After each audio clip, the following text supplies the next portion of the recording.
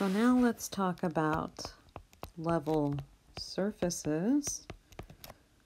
So we're switching to talking about a function of three variables.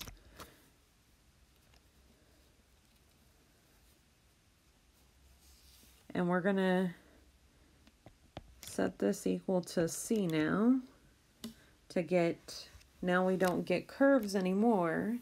This will be a, an equation with three variables, so it's a three-dimensional object, which means it's a surface now.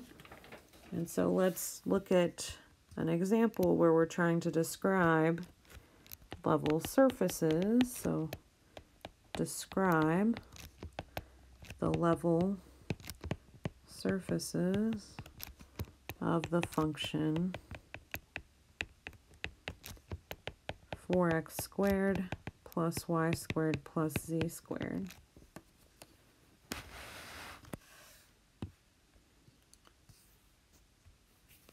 So we have 4x squared plus y squared plus z squared equals c.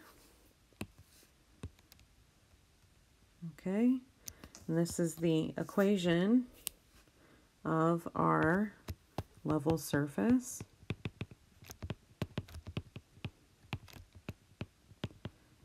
The first thing I'm going to notice is that on the left-hand side of the equation, I have a sum of squares, which means the left can't be negative. For any value I plug in for x, y, and z, the left-hand side will not be negative. So in particular, I know that c must be greater than or equal to 0.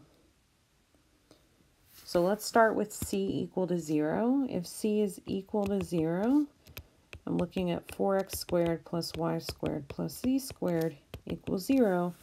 And the only solution we get is the point 0, 0, 0.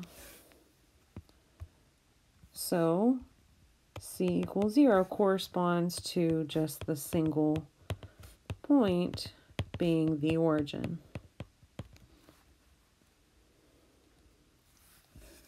And now we're going to pick other values of c. And because I have this uh, coefficient over here of 4, I'm going to go with multiples of 4. And you're going to see just a minute why that works out. But I'm going to choose c equals 4 now. 4x squared plus y squared plus z squared equals 4.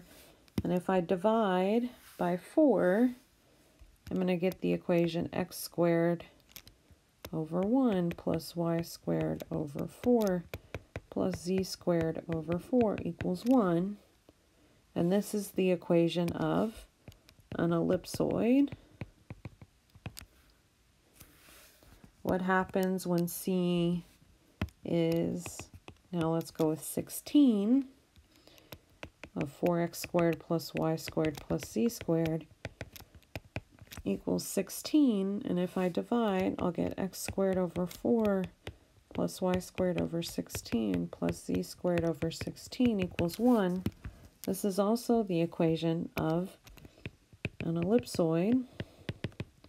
And so now what do my level surfaces look like? Well, the first one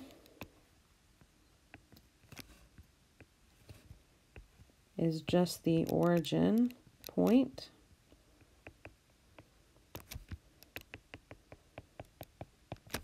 So here's x and y and z. The second one is an ellipsoid. I go out a distance of 1 on x and then 2 on y and 2 on z.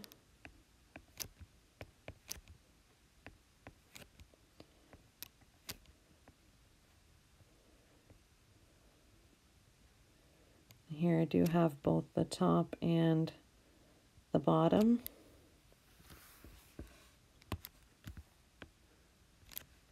Okay. And then the next one, I get another ellipsoid, but now it's spread it out a little bit more.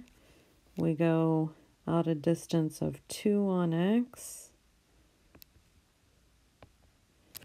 and 4 on y, and 4 on z. So it's just like twice the, scaled out twice the size. Here's my, oop, here's my plane there.